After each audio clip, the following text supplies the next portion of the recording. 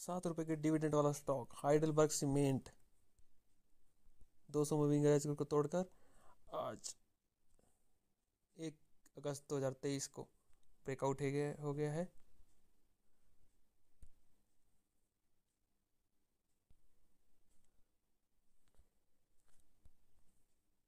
तीस सितंबर 2023 सात रुपये का डिविडेंड।